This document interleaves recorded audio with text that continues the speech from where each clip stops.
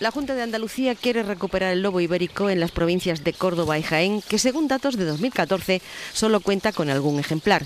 Un primer paso es conocer la población exacta de estos animales en nuestra comunidad y para ello está pidiendo la colaboración y apoyo al proyecto mediante cartas dirigidas a los propietarios rurales de ganaderías y cotos de caza, tal como ha establecido la Unión Europea. El programa es, como marca el nombre, cambiando actitudes. Lo que se trata es, tiene dos objetivos básicos. Uno, primero, conocer exactamente cuál es la población de lobo en Sierra Morena para intentar consolidar la población histórica de lobo, pero nunca reintroduciendo ni reforzando ejemplares. Eso nunca.